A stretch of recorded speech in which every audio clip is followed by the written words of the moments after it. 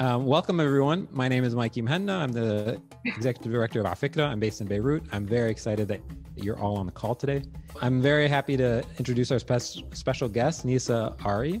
Um, Nisa is a lecturer in art history at the Kathrine G. McGovern College of the Arts at University of Houston. She studies late 19th and 20th century visual practices with a focus on artwork from the Middle East. Her research explores the relationship between culture, cultural politics, and the development of art institutions, specifically in Palestine and in Turkey. She received her PhD in the history, theory, and criticism of art and architecture program at MIT. Um, Nisa, thanks so much for joining. Yeah, thank you. Thanks for this slide. It's like seeing your, your yourself in microcosm in PowerPoint form. And what better way to see yourself? so let me ask you a question. You sure. are based in Houston. I presume you grew up in the US. Yeah. How did you decide that you were interested in uh, studying Palestinian art? That's the first, most obvious question that I need to understand. Yeah, and I'll try to not make it as long as that process actually was to get there. um, because it, it would take a while because um, it wasn't really a natural like i'm not palestinian um, i was born in istanbul actually my father is turkish my mother is american um, so i was born in istanbul i spent a lot of time um, in istanbul growing up um, but i would still say i was you know really raised in the us my mannerisms are very american the way i speak all of that um, and when I started uh, the PhD, I had thought I would work on art from Turkey, especially around maybe the turn of the 20th century. Um, well, actually, that's not true. Sorry. we create these myths about our narratives that uh, you know you realize when you go back are not the case. Um, when I started the PhD, I wanted to look at uh, this kind of conglomerate of nonprofit art institutions that had popped up in the Middle East in the 1990s that I thought were being really, um, uh, were very much kind of the foundations of how uh, contemporary artists from the Arab world or the Middle East more broadly were starting to circulate. And I had done a lot of research at one such organization in Istanbul, which now everyone knows as SALT, um, mm-hmm. but it used to be called Platform back in 2007 when I was doing research there. Yeah. And I thought for my PhD, it would be interesting to kind of open that up and, and look at this network of institutions like Platform in Istanbul. And so I was interested in Ashkal Alwan in uh, Beirut, Beirut yeah. um, Townhouse Gallery in Cairo, and then Al Mamal in Jerusalem. And so my first summer of the PhD, I thought, okay, I know I, I know quite a bit about what's going on in Turkey. Let me go somewhere else that I know really nothing about.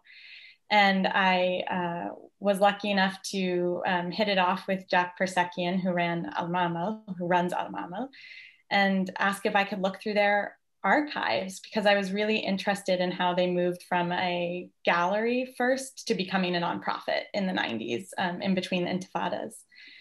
And so that's how I started in Palestine. Um, it, I could go on, but yeah. it was um, it was really that first summer in Jerusalem that I, I was there. I started learning about Palestine. So it was pretty late in kind of my academic career. Um, but then I just became really interested in it. And I realized that a lot of my kind of broader questions that I had about art history were uh, found kind of a really rich territory to be explored in the case of Palestine.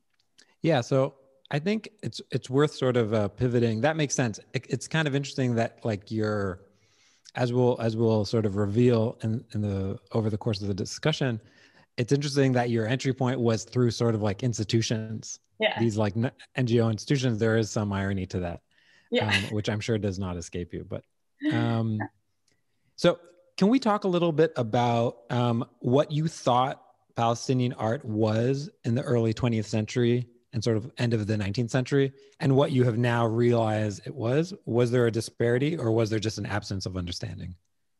Um i guess you know what i'll say is that when i first started this project um, i was very lucky at mit to have advisors who were intellectually encouraging but also very candid with me and i was told um, by one of my advisors that you know there had been several students before me who had tried to work on art in Palestine, especially from before the Nakba, before 1948, and had pretty much given up for a couple reasons.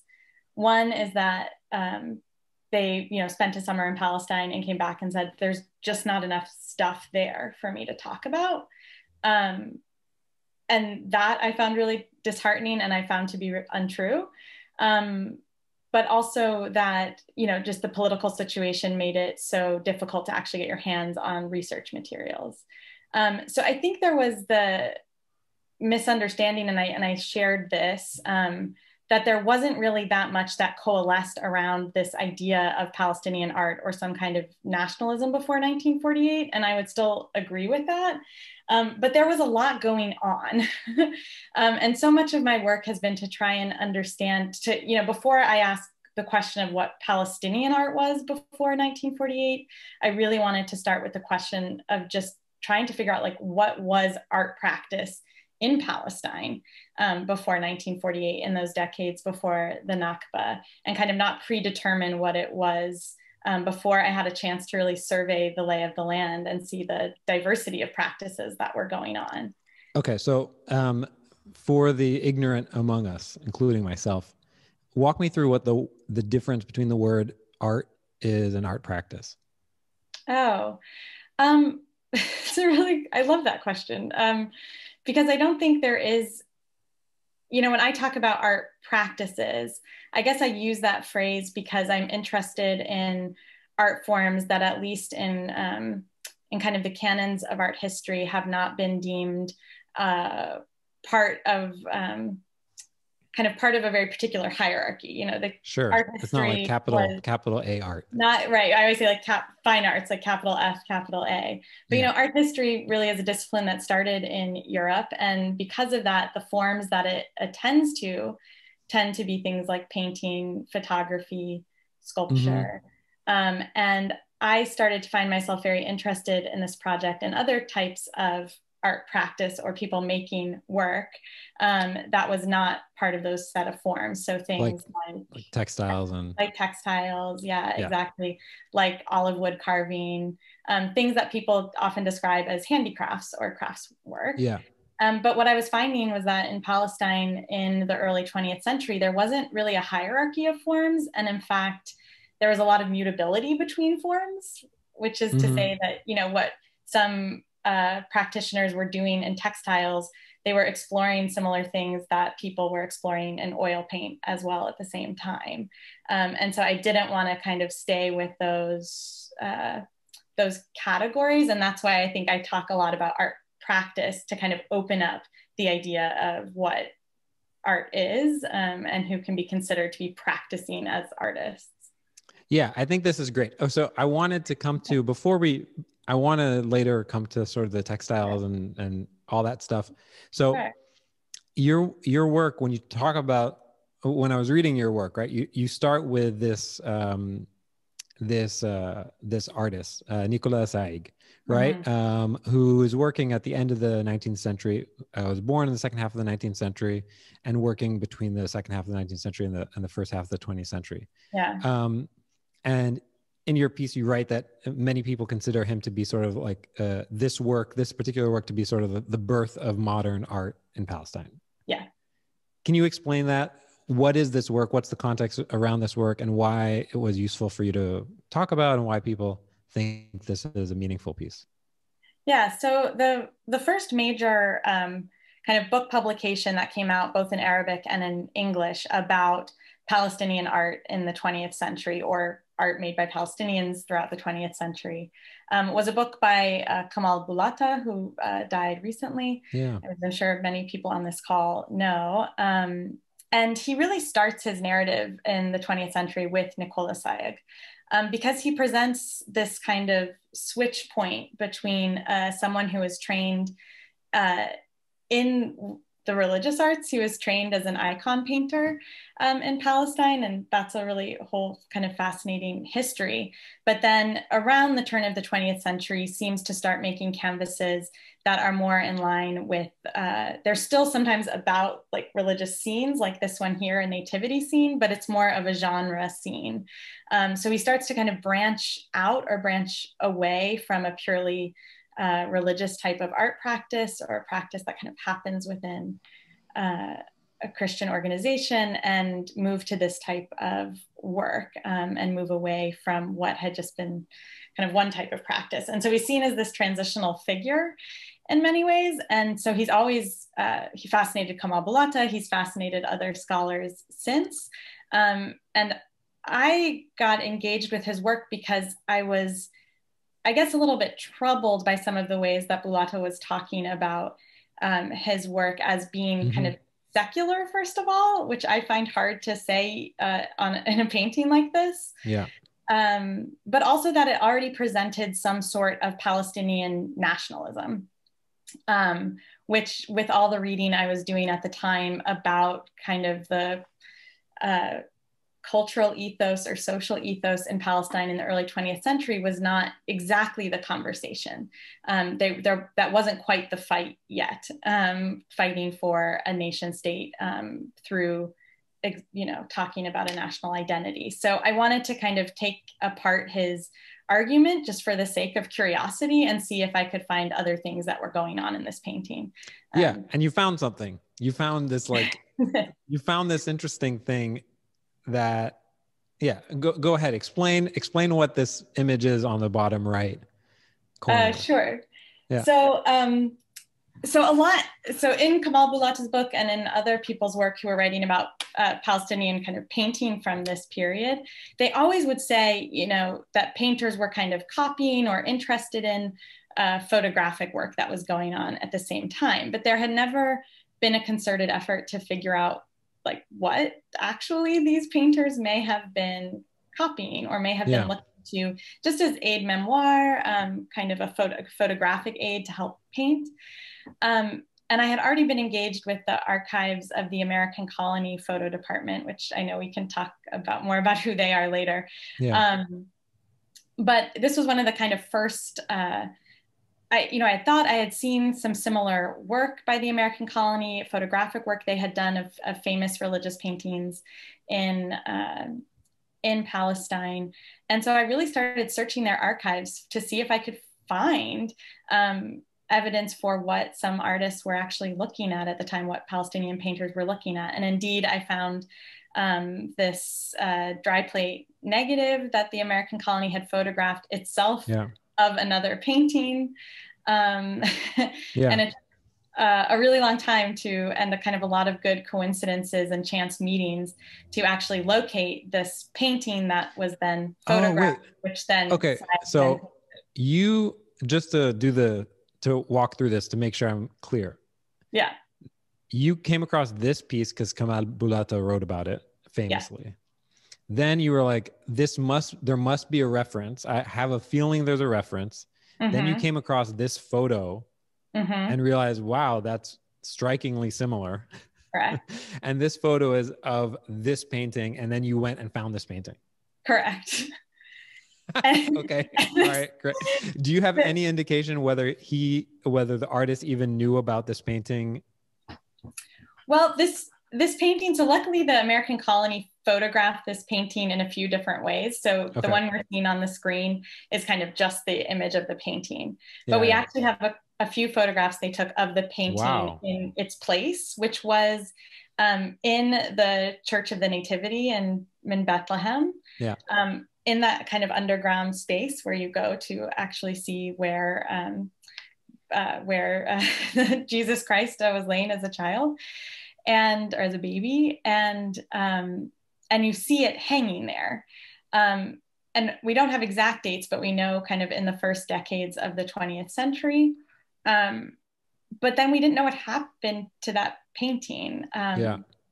And it's not there, and it doesn't hang there anymore. I knew that. I had been to Bethlehem. I had I had gone looking for it, and so I got in touch with the uh, the friars at the custody of the Holy Land, um, especially Frere Stefan, who's kind of in charge of their cultural patrimony. Mm-hmm. Um, and he hadn't seen it either. Um, so this, it kind of, there was a whole like detective hunt to find oh, this painting. People had thought it was destroyed. Um, well, I, okay. I should, I should back up because actually one of the reasons I was able to find this painting is because I was at an exhibition in uh, in Jerusalem, and part of what was on view there was uh, a collection of mother of pearl carved um, shells um, okay. that are owned by this collector, George Alama. And I was at this exhibition, it was opening night. I'm looking at this collection, and one of the shells is carved with this same painting. Oh, wow. On it. Cool. And it's from the 1980s. So weird. And so my mind like exploded, and I was like, oh my God, I can't believe, you know, that first of all, people are still copying this painting. Palestinian uh, craftsmen are still copying this painting, yeah. um, and that somebody else has access. And so I met George, who owned this piece.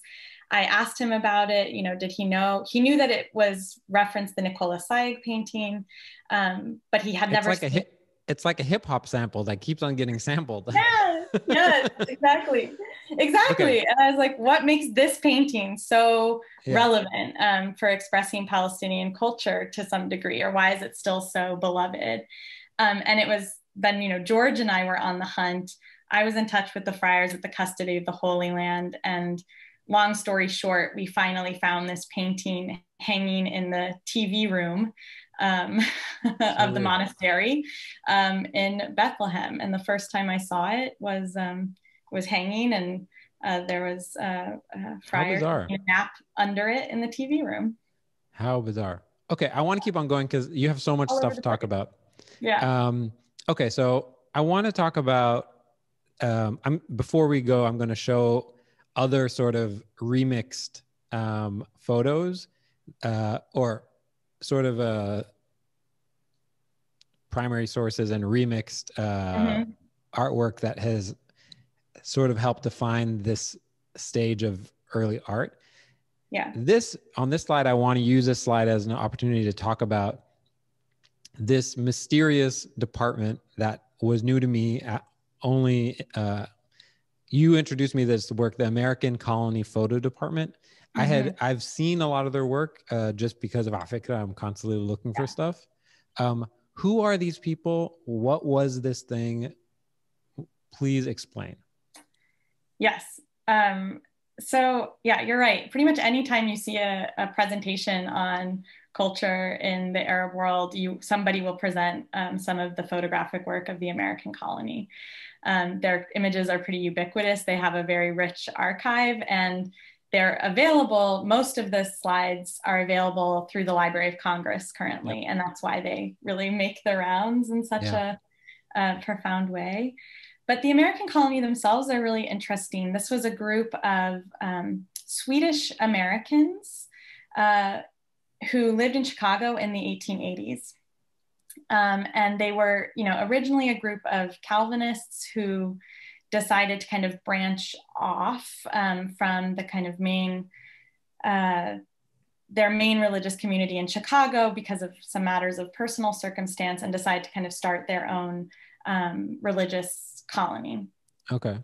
In Chicago. So it's Swedish, it's mostly Swedish American immigrants in Chicago. And they was they photography like essential to their work? Was Palestine not, essential? Not at all. They are not photographers at this point.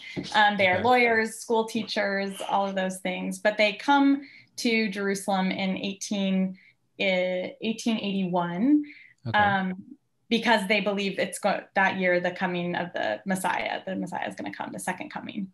Okay um, due to you know some belief and somebody does some geometric work figuring out what the pyramids are saying to them and 1881 is going to be the moment.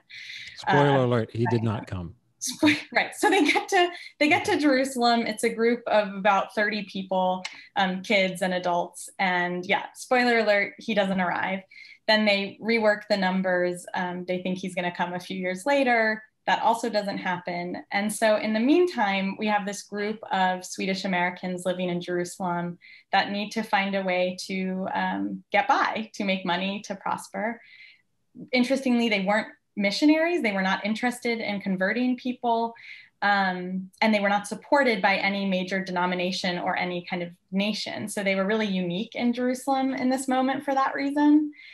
Um, so they start a lot of other things. Um, they rent this very large um, house now um, on, on Nablus Road, kind of that border between what we think of today as East and West Jerusalem.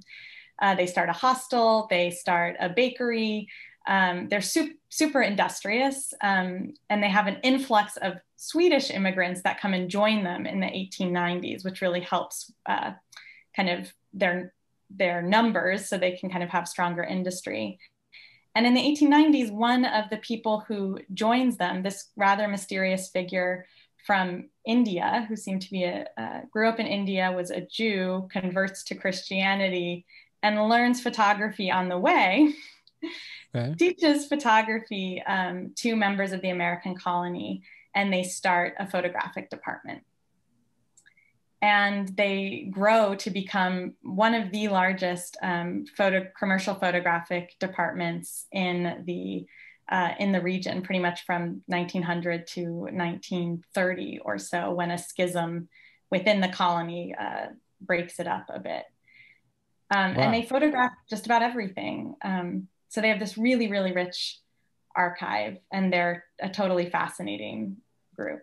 So, um, just to make the connection to those on the call, why are these people important to you aside from uh, why is this uh, this group important to you for understanding both uh, you know art in Palestine, but also Palestinian art? Yeah, um, they. I mean, first, of course, I was looking at them just because of the wealth of the photographic archive. Yeah. Um, if you want to learn about what was going on in Palestine in these years, that's just one of the best places to look, right? Sure. Um, because they have records of so many of the activities of what was happening.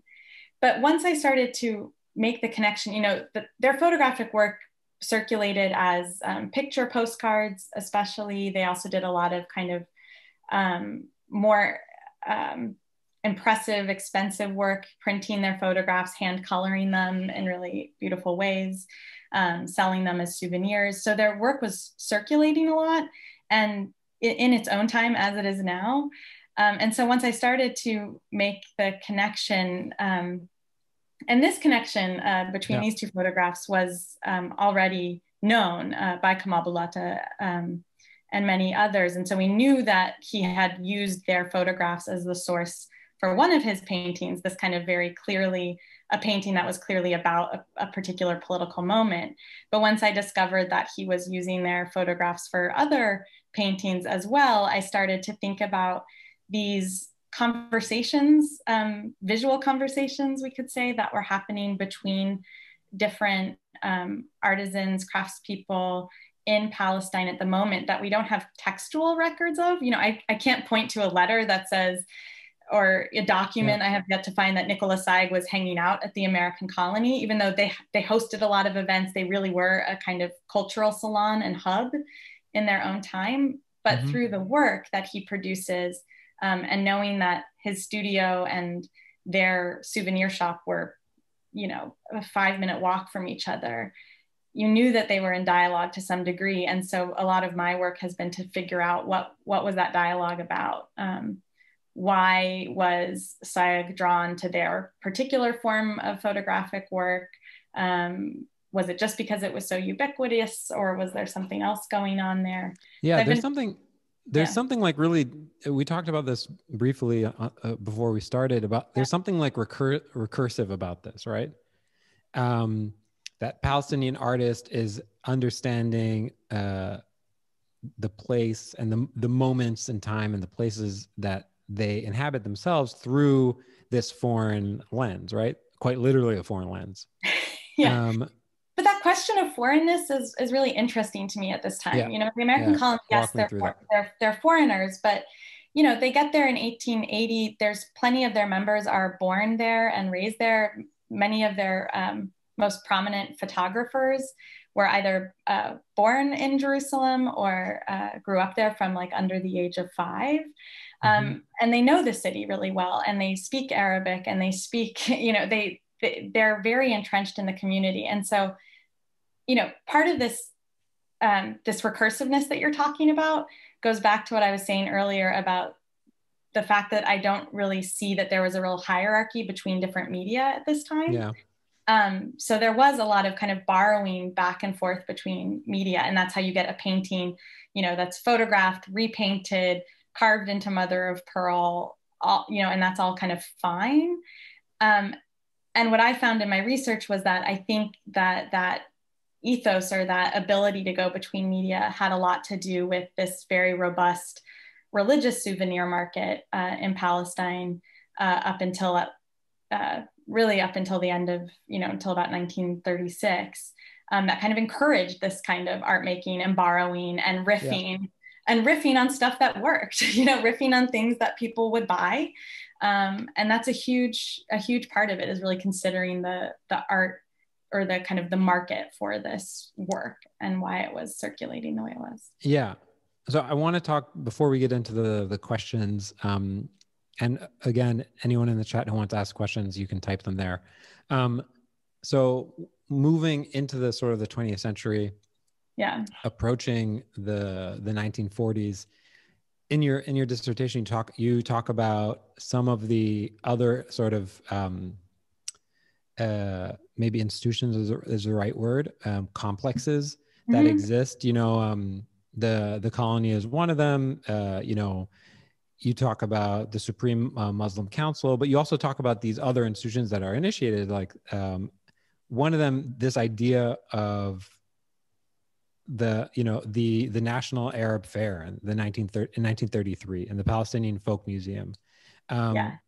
So in the early 30s, what did people think Arab uh, Palestinian art was locally? What were they hoping to sort of uh, codify into being by having these institutions that were, you know, in charge of actually pro- being proponents of it?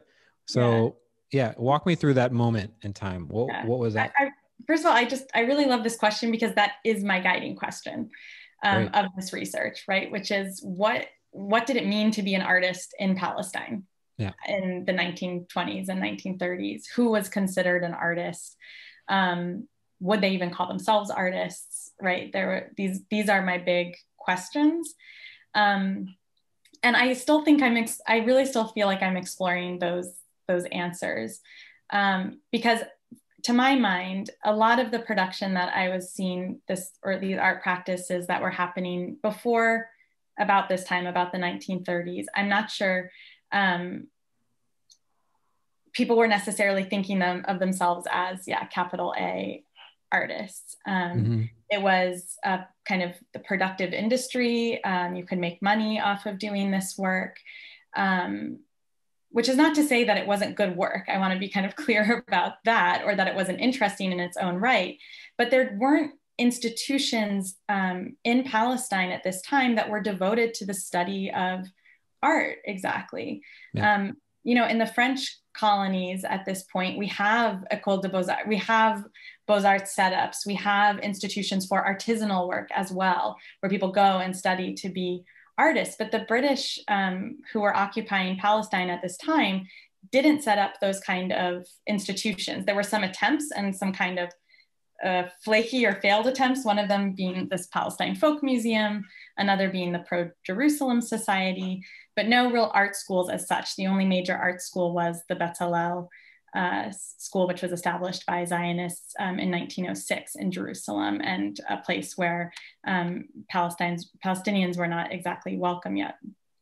Um, so that kind of led me to look at these other kinds of institutions, like thinking about trade fairs, um, where mm-hmm. we have the display of handicrafts and industry, um, and kind of uh, understand art's role in um, in these uh, calls for um, kind of uh, stimulating the economy and using the economy to argue for uh, the value or relevance of a Palestinian nation. So in this case, um, this is the first National Arab Fair in 1933. You're seeing the um, people clamoring to get into uh, the building, and you're seeing the floor plans of the fair on the right there. And to me, it's so interesting that we have um, what we now consider to be some of right these kind of grandfathers, grandmothers of modern Palestinian art.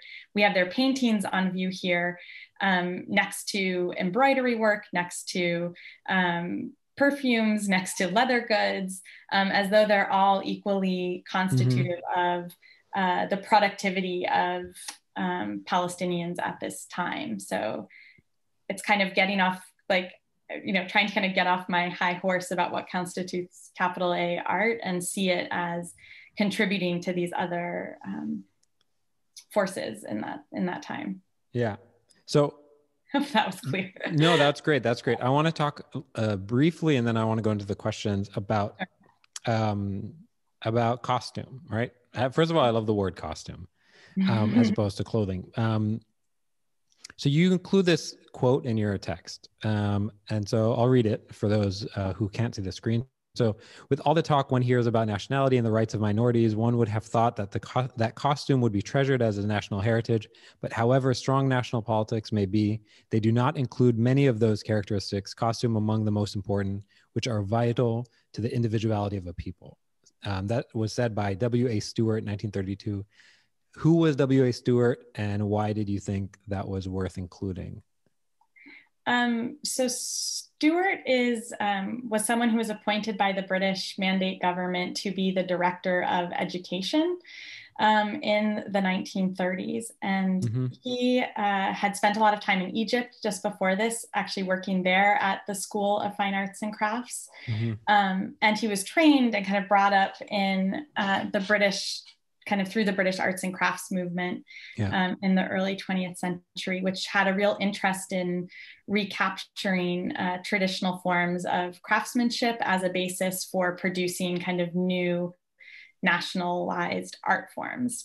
And so people like Stewart, um, he wasn't the only one in uh, Palestine or part of the British Mandate government that was interested in this, but um, they were kind of they saw Palestine as this really great blank slate, um, which was it was not, of course, but as a place to kind of try out their theories of um, pulling out these traditional uh, crafts and also clothing, costumes, and trying to promote them as a way of forming some sort of um, kind of national branding of uh, of the community.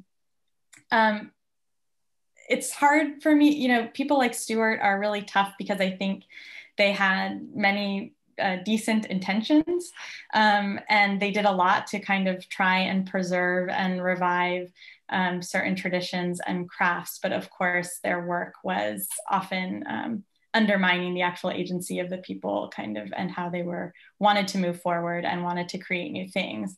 So, you know, Stewart yeah wasn't a fan, you know, at this time we have all these new kind of imported European embroidery threads coming into Palestine, and he's very anxious about that and wanting to like preserve what was traditional. But at the same time, he recognized that one of the best and most um, expressive art forms in Palestine at the time was tatreez, was embroidery yeah. work. Um, and I kind of do commend him for that. Yeah.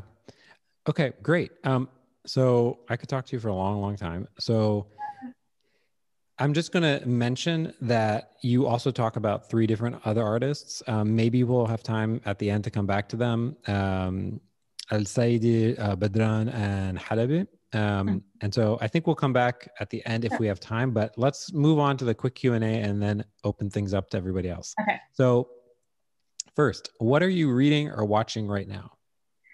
You know, this one's like too embarrassing because I'm just trying to no watch. Judgment. I'm just trying to watch things that like feel like heavy blankets um, at the stress of the current moment.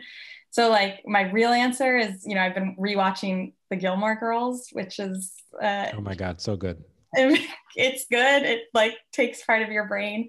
But I would say like the last great thing I just read was um, Exit West by Mohsin Hamid. Um, okay. Which was incredible. And, you know, you were talking earlier about how long my dissertation is. This book is short. There's such a good economy of language in it. Um, he's talking about kind of these these two people that fall in love and have to become refugees um, and they move as they move all around the world so it's it's it's it was beautiful and so economically written which i'm always i think like salivating over okay cool that's a great one um, let's say um, who would you love to shadow for a day, past or present? Um, I don't know exactly shadow, but I something I'm very sad about is that I never had the chance to meet Kamal Boullata before he passed, um, and mm. I feel like my work will be in dialogue with his for the rest of my life. Um, I'm going to continue the conversation with like him and everything that he put forward. Um, as the did you ever email? Um, we did no, we did not. Um, it was really oh my yeah, God. it's how heartbreaking. It is heartbreaking. I had, I think, a very misguided idea that I, I really needed to kind of set out what my own stakes were in this project and my own thoughts. Um, and so I had always planned that pretty much like the minute the dissertation went in, I would get in touch. Um, and I, I waited too long, and I'm really sad about that. But I hope, um, yeah, I will be continuing the conversation that he started. And I, you know, I wish I could spend a day with him. Well, there, I think there's a lesson to learn there, right? Absolutely. Which is just Absolutely. tell people you admire that you admire them. Absolutely. Without without like expectation of them being like, I admire you back. yeah, which they definitely don't do when you're a young PhD student. You know, it's all about yeah. listening to other people. And I I learned so many lessons from his work. So yeah, it's it was a it's a good lesson for sure. Okay. Um what do people most misunderstand about your work or your line of work? Mm. Um, oh, interesting. Um, I think about my work. You mentioned this like when we were talking earlier, like, did I come at this project through a political lens or did I come at it through like a cultural social lens? And the real answer is, is neither of those. Um, I was interested in this question about institutions and how institutions and social networks, like how we can witness those things in the artwork themselves, mm-hmm. um, and how institutions mediate form. And looking at that question through this what is a really complicated situation in Palestine in the early 20th century was just such a rich um, place. And of course, I'm very interested now in, in the, the social and political aspects, of course, but um, it didn't exactly start there. Yeah. Yeah. Okay. Um, whose work do you admire or are inspired by? Let's remove. Uh, yes, we'll remove him. Um, you know, I um, I teach um, classes on Islamic art and architecture, and I have to say that I continue to be inspired by the work of uh, Oleg Grabar, who was kind of a giant in the field of Islamic art and architecture in the U.S. Um, and abroad, but he he taught at Harvard. Um, and he just he's he's written so many awesome short texts that start with questions um, and I really aspire to do that as well. The way he writes is it's around a question. He allows you to like think with him, and he doesn't always have the answers. And I really appreciate that about his work. He was such he had such a broad range of understanding of the field, but he always wrote as though he was a novice, um, and would often write before he had all the answers. He would say. Are you typically attracted to like the medium, like how things are done, as opposed to like what they are? Um, I'm, I'm attracted. Well, I feel like I'm attracted to the question of like why things exist. Okay. right. Like I was curious with the the Nicola Saig stuff. It's like why does this work exist and why is it so exciting to people um, still now? Or uh, the research I'm doing right now has to do with this question of, you know, of all the painted work in Palestine in the early 20th century, like none of it really um, obviously comments on all the political situation that was going on there. Well, the poets were doing lots of that. They were really very clearly talking about the changes to um, the Palestinian world in the early 20th century. So my question is, right, like, why do we have all these bucolic landscape paintings from this yeah. time? Um, so I don't know. Yeah, it's the, so, the, why does it exist in the first place? so um, how did that change um, as like people um, type in questions. I guess my my question to you is every everything I've read of yours and every I've uh, other in talking to you now, mm-hmm. there's always this idea of this is pre Nakba, this is pre 1948, mm-hmm. right? There's this asterisk. Oh, by the way, this is pre 1948. Uh, uh-huh. But like that line in the sand doesn't exist, you know, um, for for everyone, right? There are people yeah. who live beyond that and work beyond that mm-hmm. how is how did people artists who were working beyond that and sort of recrafting this image of palestine and and nationalism there and a right to be recognized and a right to be um, to exist mm-hmm. um, how did they look at this sort of pre 1948 work was it discarded as a ugh that that's when we were just like um, making pictures of landscapes? like, it's interesting. I feel like it's been the opposite, actually. Okay. Um, yeah. Like with the way that Boullata was interpreting the Nicola Saig work as like expressing a very um, clear nationalism. Um, yeah. Same thing, like you had a painting up earlier of, uh, or a watercolor by Sophie Halaby of a thistle, of a, of a, a Syrian thistle. Yeah. Um, and that work, people did did see it. She was displaying this work after 48. Um, she was still alive into the 80s. Um, and so what I found interesting is people kind of, again, recapture capturing that work is a very specific like expression of Palestinianness. And I think a lot of my work has been to try and um, nuance other um, things that this work was expressing um, in order to kind of allow it to breathe a little bit more and um, and to have kind of more dimensionality than the way that maybe it was instrumentalized at least immediately after 48 yeah great. Okay um, i'm going to try to get out of the way. So we have two questions so far ula and yaz so let's start with ula if you want to unmute yourself you can ask your question and then yaz uh, if you want to be up next that would be great. Okay. Uh, thank you very much for this um, enlightening about the uh, different media of art. I would like to ask uh, when you visited the Palestinian culture in Jerusalem or the area there, did you find any uh, new uh, medias of art, uh, art uh, practicing, like you said, uh, that was specific or new that surprised you there? Thank you. Thanks. Yeah, thank you for that question. Um, there's so, I don't know like it, surprised me um, some of the work that I found. Some the um, some objects that I'm really interested in right now are these beautiful souvenir booklets of pressed uh, wildflowers from the region, um, specifically uh, wildflowers that were mentioned in the Bible. Um, but and you know, so there are pressed flower souvenirs all over the world, but I'm, I was really interested in these ones that were created by people in Palestine, um, both for personal reasons and then also ones that were created for the souvenir market, um, because they're really nice um, kind of packets of all different types of craft work coming together. So usually the um, the covers are carved olive wood. Sometimes there's mother of pearl inlay in them. Um, they're bound in uh, leather or sometimes uh, some kind of soft sheepskin in the binding. And then these great um, it's not just that they're pressed flowers, but they're put into these compositions to express the place from which they were taken.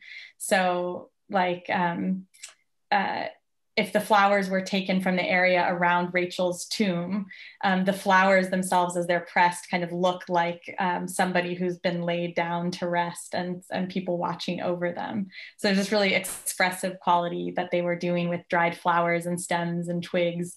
Um, and I'm interested in how those souvenir books were then seen and maybe interpreted in painted work as well. When people went to paint Palestinian wildflowers, they kind of used the the aesthetics of those pressed flower books.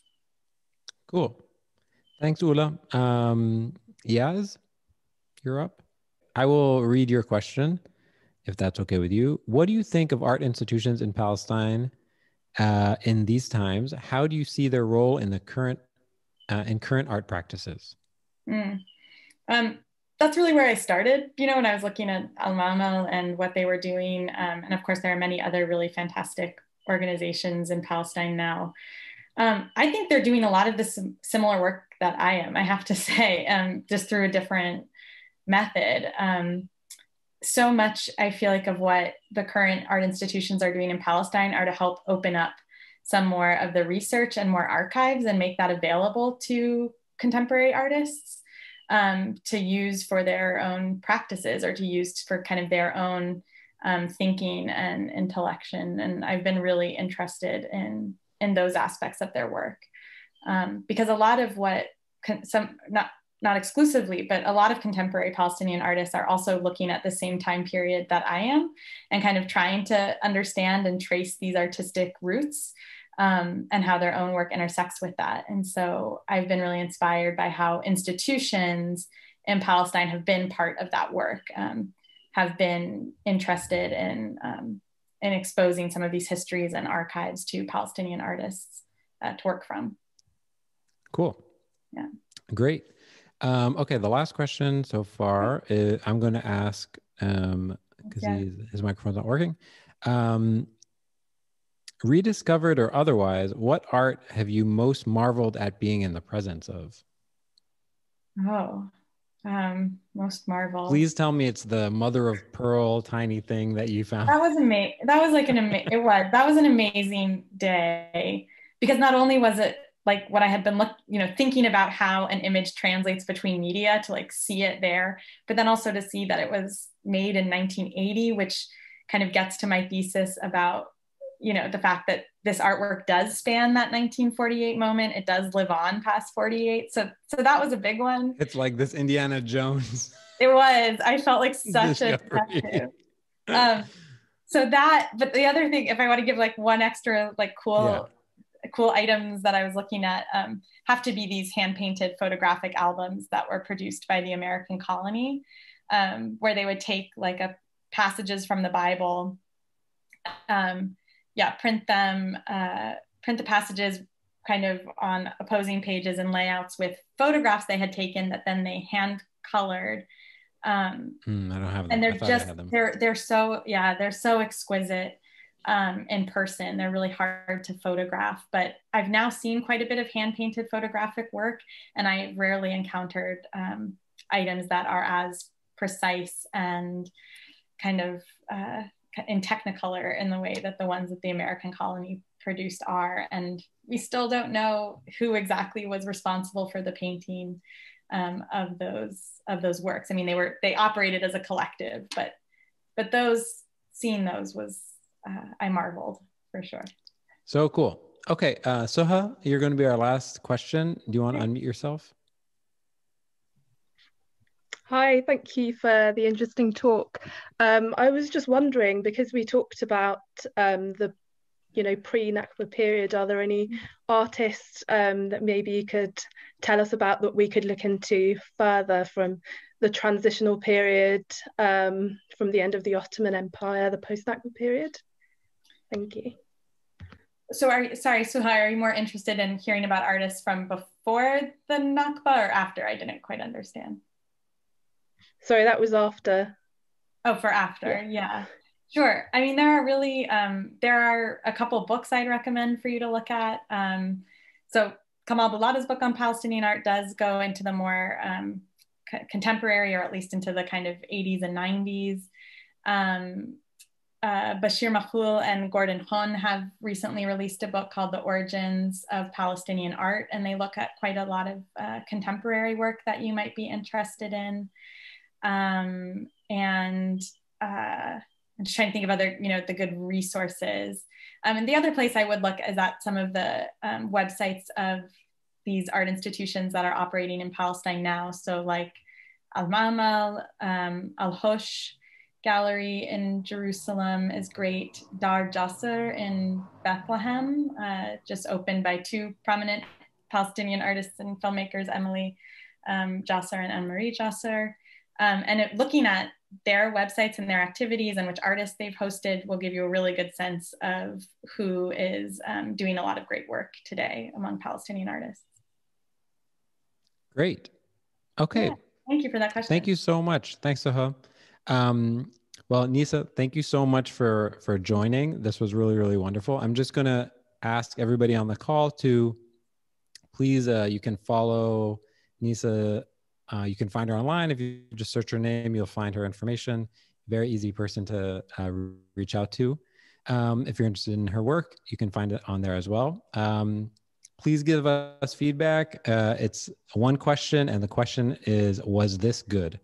Uh, the link is in the chat. Please, please answer. It helps us do better. Um, and if you love the work we're doing and you want to create a more curious and compassionate uh, region filled with brilliant and friendly nerds like you, uh, please support our work and keep everything we do free and open to all.